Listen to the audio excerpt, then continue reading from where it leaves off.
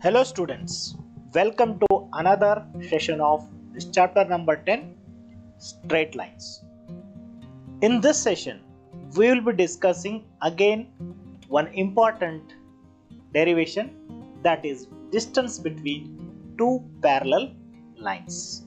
That means suppose these are two parallel lines then the distance between them means the shortest distance between these two lines ಈ ಎರಡು ಲೈನ್ಗಳ parallel ಲೈನ್ಗಳ ಮಧ್ಯೆ ಇರತಕ್ಕಂತಹ ಅತ್ಯಂತ ಕಡಿಮೆ ದೂರವನ್ನ ನಾವು distance between parallel lines ಅಂತ ಕರಿತೀವಿ.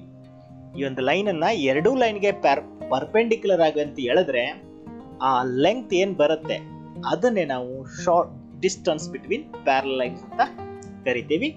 ಸೊ ಅದನ್ನ ಹೇಗೆ ಫೈಂಡ್ ಔಟ್ ಮಾಡಬೇಕು ಅನ್ನೋದೇ ಇವತ್ತಿನ ಟಾಪಿಕ್ ನೋಡಿ. ಒಂದು ಇಲ್ಲಿ ಗಮನಿಸ್ಬೇಕು ನೀವು. ಸಪೋಸ್ ಎರಡು ಲೈನ್ಸ್ ಏನಾದರೂ ಪ್ಯಾರಲಲ್ ಆಗಿದ್ರೆ.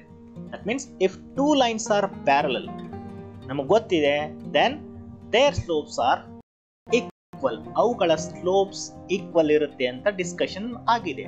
ಲೈನ್ಸ್ ಏನಾದರೂ ಪ್ಯಾರಲಲ್ ಆಗಿದ್ರೆ ಅವುಗಳ ಸ್ಲೋಪ್ಸ್ ಈಕ್ವಲ್ ಆಗಿರುತ್ತೆ.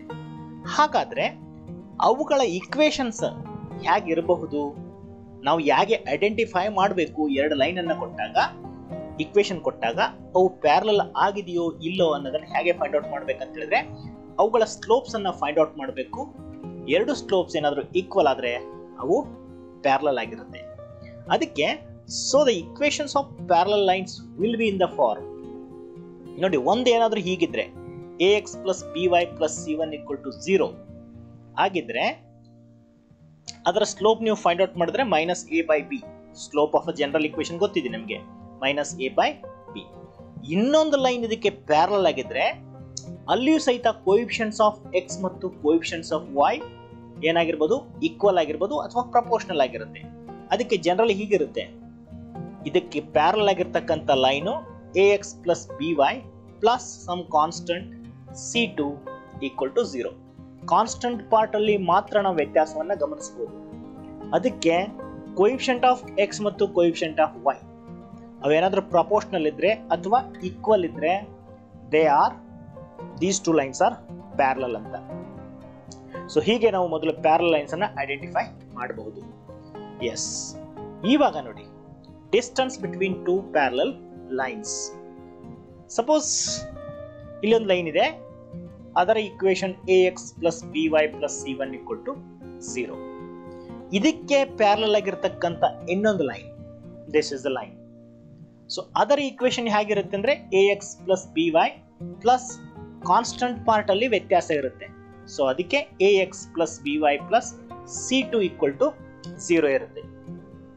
ಇವಾಗ ನಮಗೆ ಬೇಕಾಗಿರೋದು ಇವುಗಳ ಮಧ್ಯೆ ಇರತಕ್ಕಂಥ ಪರ್ಪೆಂಡಿಕ್ಯುಲರ್ ಡಿಸ್ಟೆನ್ಸ್ ಅದಕ್ಕೆ ಒಂದು ಪರ್ಪೆಂಡಿಕ್ಯುಲರ್ ಡ್ರಾ ಮಾಡಿದಾಗ ಇದನ್ನ ನಾವು ಡಿ ಅಂತ ಸೂಚಿಸಿದರೆ ಈ ಡಿ ವ್ಯಾಲ್ಯೂ ಯಾವುದಕ್ಕೆ ಈಕ್ವಲ್ ಆಗಿರುತ್ತೆ ಅಂತ ಹೇಳಿದ್ರೆ d is nothing but it's a mod of c two minus c one by root of a square plus b square ಈ ಇದೇ ಫಾರ್ಮುಲಾ ನಮ್ಗೆ ಏನ್ ಕೊಡುತ್ತೆ ಅಂದ್ರೆ distance between two parallel lines ಇದನ್ನ ನಾವು ಡಿರೈವ್ ಮಾಡೋಣ ಬಟ್ ಎಕ್ಸಾಮ್ಗೆ ಕೇಳಲಿಕ್ಕೆ ಇದನ್ನ ಸಾಧ್ಯ ಇಲ್ಲ. ಯಾಕಂದ್ರೆ ಇದಕ್ಕಿಂತ ಇಂಪಾರ್ಟೆಂಟ್ ಆಗಿರೋ ಡೆರಿವೇಶನ್ಸ್ ಇದೆ. ಸೊ ಬಟ್ ಒನ್ ಮಾರ್ಕಿಗೆ ಇದರಿಂದ ಒಂದು ಕ್ವಶನ್ ನಾವು ಎಕ್ಸ್ಪೆಕ್ಟ್ ಮಾಡಬಹುದು distance between parallel lines so ಮೊದಲೇ ಡಿರೈವ್ ಮಾಡೋಣ ಈಸಿಯಾಗಿ so consider these two lines a x plus b y plus c one equal to zero a x plus b y plus c two equal to zero these are two parallel lines ಆಮೇಲೆ consider a point p x one y one on the first line ಅಲ್ಲಿಂದ p m ಅನ್ನು ಪರ್ಪೆಂಡಿಕ್ಯುಲರ್ನ draw ಮಾಡಿ. So this is the shortest distance ಆಗುತ್ತೆ between these two lines okay so ಇವಾಗ ಈ P point ಈ line ಮೇಲಿದೆ. P x one y one ಅನ್ನೋದು ಫಸ್ಟ್ ಲೈನ್ ಮೇಲಿದೆ. A x plus b y plus c one equal to zero ಒಂದನ್ನು ತಿಳ್ಕೊಳ್ಬೇಕು ನೀವು. ಯಾವುದೇ ಒಂದು ಪಾಯಿಂಟು ಒಂದು ಲೈನ್ ಮೇಲಿದ್ದರೆ ಆ ಪಾಯಿಂಟು ಆ ಲೈನ್ನ ಇಕ್ವೇಶನನ್ನು ಸ್ಯಾಟಿಸ್ಫೈ ಮಾಡುತ್ತೆ. ಅಂದರೆ ತೃಪ್ತಿಗೊಳಿಸಲ್ಪಡುತ್ತೆ. ಅಂದ್ರೆ ಎಕ್ಸ್ ಜಾಗದಲ್ಲಿ ಎಕ್ಸ್ ಒನ್ ವೈ ಜಾಗದಲ್ಲಿ ವೈ ಒನ್ ಹಾಕಿದ್ರೆ ಇಕ್ವೆನ್ಷನ್ ಬ್ಯಾಲೆನ್ಸ್ ಆಗುತ್ತೆ ಅಂತ ಇದರ ಅರ್ಥ. ಎಸ್ ಬರೀರಿ. Let p x one y one be any point on the line a x plus b y plus c one equal to zero ಈ point ಅನ್ನ ಈ ಲೈನ್ ಮೇಲೆ ಇದೆ ಅಂತ ಊಹೆ ಮಾಡಿ ಇವಾಗ ನೋಡಿ. ಈ ಪಾಯಿಂಟ್ ಈ ಲೈನ್ ಮೇಲೆ ಇದ್ರೆ ಅದು ಈ ಇಕ್ವೇಶನ್ ಅನ್ನ ಸ್ಯಾಟಿಸ್ಫೈ ಮಾಡುತ್ತೆ. ಅದಕ್ಕೆ ಎಕ್ಸ್ ಜಾಗದಲ್ಲಿ ಎಕ್ಸ್ ಒನ್ ಹಾಕಿ ವೈ ಜಾಗದಲ್ಲಿ Y one hockey. So this implies a x one plus b y one plus c one equal to zero ಅಥವಾ ಇದನ್ನ a x one plus b y one equal to minus c one ಅಂತ ಬರೆಯೋಣ. ಮೊದಲನೇಗೆ, ಮೊದಲನೇ ಇಕ್ವೇಶನ್ಗೆ equation one ಅಂತ number ಕೊಡಿ. ಇವಾಗ ನೋಡಿ. The distance between a point and line ನಾವು ಹಿಂದಿನ ಕ್ಲಾಸಲ್ಲಿ ಡೆರಿವೇಶನ್ ನೋಡಿದ್ದೀವಿ distance of a point from a line point ಅನ್ನೋದು ಲೈನ್ ಒನ್ ಮೇಲಿದೆ. ಓಕೆ ಸೊ ನಾವು ಆ first derivation distance of a point from a line ಅದನ್ನ ಯೂಸ್ ಮಾಡ್ಕೊಳ್ಳೋಣ.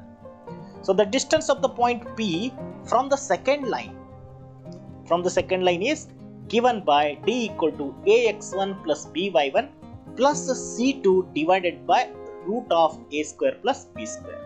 Second line equation ಗಮನಿಸಿ. ಸೆಕೆಂಡ್ ಲೈನ್ ಅಲ್ಲಿ a x plus b y plus c two ಅಂತ ಇತ್ತು. ಕಾನ್ಸ್ಟೆಂಟ್ ಪಾರ್ಟ್ ಏನಿದೆ? ಸಿ ಟು ಇದೆ. ಅದೇ ಬರುತ್ತೆ ಇಲ್ಲಿ. ಅದಕ್ಕೆ distance of the point p from the second line is given by this formula ನಾವು ಇದನ್ನು ಓದಿದ್ದೇವೆ. ಇವಾಗ ನೋಡಿ.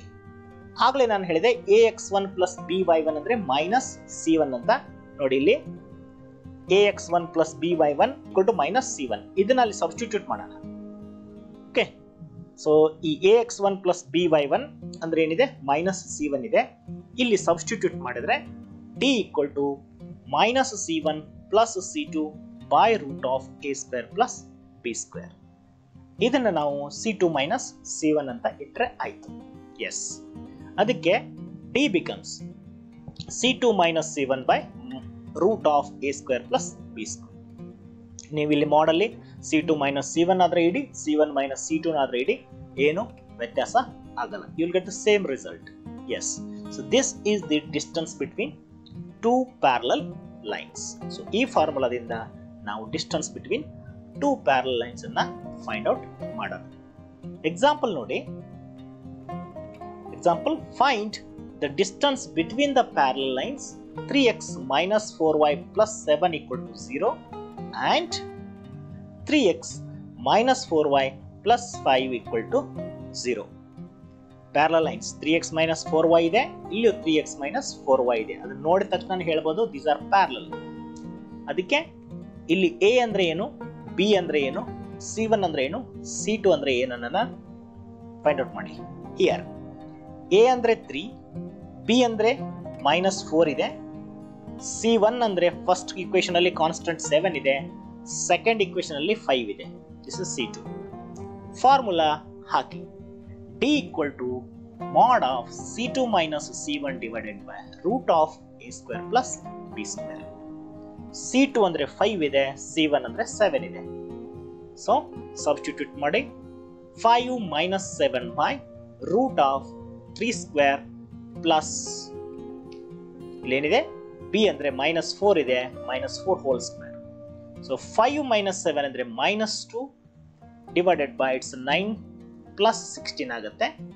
So mod of minus two ಅಂದ್ರೆ ಟೂ ಬೈ ಫೈವ್ ಆಗುತ್ತೆ. ಇದು root of twenty five root of twenty five ಅಂದ್ರೆ ಫೈವ್ ಆಗುತ್ತೆ. So this is the distance between two parallel lines ಅದೇ ತರ ಇನ್ನೊಂದು ಎಕ್ಸಾಂಪಲ್ ನೋಡಿ. Find the distance between the lines, parallel lines 15x plus 8y minus 34 equal to 0 and 15x plus 8y plus 13 equal to 0 ಇಲ್ಲಿ A ಅಂದ್ರೆ ಏನು? B ಅಂದ್ರೆ ಏನು? C one ಅಂದ್ರೆ ಏನು? ಸಿ ಟು ಅಂದ್ರೆ ಏನು ಬರೀರಿ ಎ ಅಂದ್ರೆ ಫಿಫ್ಟೀನ್ ಬಿ ಅಂದ್ರೆ ಏಟ್ ಸಿ ಒನ್ ಅಂದ್ರೆ minus thirty four C two ಅಂದ್ರೆ ಥರ್ಟಿ ಒನ್ ಫಾರ್ಮುಲಾ ಹಾಕಿ d equal to mod of c2 minus c1 by root of a square plus b square. Substitute ಮಾಡಿ. ಏನಿದೆ ನೋಡಿ? C two ಅಂದರೆ thirty one ಇದೆ. ಇದು minus C one minus ಅಂದರೆ plus C one ಆಗುತ್ತೆ ಅಂದರೆ ಪ್ಲಸ್ ಥರ್ಟಿ ವ ಫೋರ್ ಆಗುತ್ತೆ ಅಂದರೆ thirty one plus thirty four ಅಂದರೆ sixty five mod of sixty five divided by fifteen square ಅಂದರೆ ಟೂ ಟ್ವೆಂಟಿ ಫೈವ್ ಮತ್ತು ಏಟ್ ಸ್ಕ್ವೇರ್ ಅಂದರೆ sixty four So you will get after simplification d equal to 65 divided by 289 under root. So under root 289 ಅಂದ್ರೆ ಇದು 70. So 65 by 70 is the distance between parallel lines. ನೋಡಿ ಇದು ಸಹಿತ exercise problem find the distance between the lines parallel lines ಏನ್ ಕೊಟ್ಟಿದ್ದಾರೆ ನೋಡಿ L into X plus Y plus P equal to zero and L into X plus Y minus R equal to zero lines parallel ಇದೆ. ನೋಡಿ coefficients of X and Y ಇಲ್ಲಿ L ಇದೆ ಇಲ್ಲಿ L ಇದೆ. ಅದಕ್ಕೆ ಇಲ್ಲಿ ಎ ಅಂದರೆ L B ಅಂದ್ರೂ L so here A is L B is also L ಯಾಕಂದರೆ ಇದನ್ನು ಮಲ್ಟಿಪ್ಲೈ ಮಾಡಿದ್ರೆ L X plus L Y plus P ಬರುತ್ತೆ. ಹಾಗಾದರೆ ಸಿ ಒನ್ ಅಂದರೆ ಪಿ ಮತ್ತು ಸಿ ಟು ಅಂದರೆ minus R so C one ಅಂದ್ರೆ ಪಿ ಸಿ ಟು ಅಂದ್ರೆ ಮೈನಸ್ ಆರ್ ಸೊ ಫಾರ್ಮುಲಾ ಏನಿದೆ? ನೋಡಿ D equal to mod of C two minus C one by root of A square plus B square ಅದೇ formula so C two ಅಂದ್ರೆ minus R ಇದೆ C one ಅಂದ್ರೆ B ಇದೆ. Yes A ಅಂದ್ರೆ L B ಅಂದ್ರೆ L so L square plus L square ಇವುಗಳಿಂದ minus common ತಕ್ಕೊಂಡ್ರೆ D equal to mod of minus of R plus P divided by L square plus L square ಅಂದರೆ two L square ಆಗುತ್ತೆ. ಇವಾಗ ಈ ಮಾಡಲ್ಲಿ negative ಬಂದರೆ ಅದನ್ನು remove ಮಾಡಿ. So D equal to ಏನು ಬರುತ್ತೆ? R plus P divided by L ಸ್ಕ್ವೇರ್ನ root L ಆಗುತ್ತೆ.